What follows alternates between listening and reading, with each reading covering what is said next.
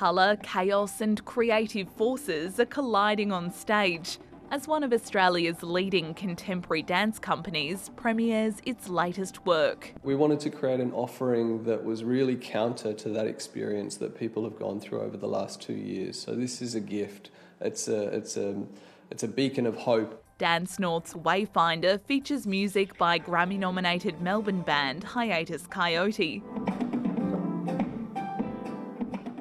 And the textile designs of celebrated Japanese Australian artist Hiromi Tango. It's a really nice kind of knitting of all of these different mediums and different experiences into the one show, so I think it's really special. The costumes were crafted from recycled fabrics and more than 100 Townsville volunteers came together to knit the set and props. Countless balls of wool have been used in the making of this show. Um, I think our production manager worked it out, it's about 65 kilometres. A hundred of these small speakers will be scattered around the theatre, allowing light and music to pulsate through the crowd.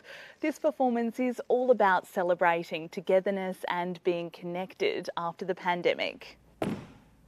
The production is a centrepiece at this year's North Australian Festival of Arts in Townsville, as the city strives to cement itself as the country's regional cultural capital. So it's really important for us as a Townsville based company that we share our work with local audiences before we tour it around Australia or indeed around the world as the world starts to open up.